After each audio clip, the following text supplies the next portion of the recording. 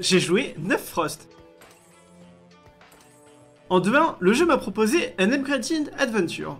Hmm, je connaissais pas, donc j'ai cliqué dessus.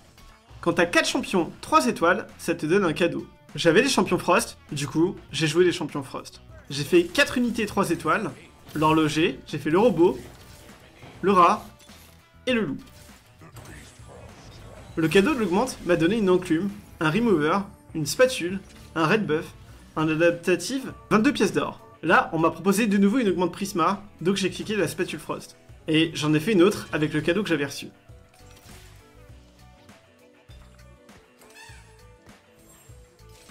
J'étais bien, j'avais 7 Frost et un gros idéal avec 3 items.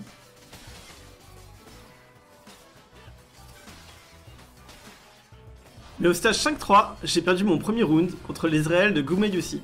J'ai pris peur. Du coup, je suis passé niveau 9 et j'ai appuyé 10 fois, sans aucune raison, sur acheter de l'expérience. Du coup, j'avais plus d'or pour trouver Diana, et je n'ai pas pu faire 9 Frost. J'ai vendu mes unités pour la trouver. Je l'ai pas trouvée.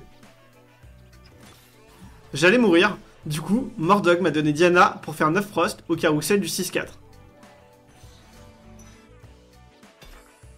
J'ai pu faire 9 Frost. Il y a eu le combat final.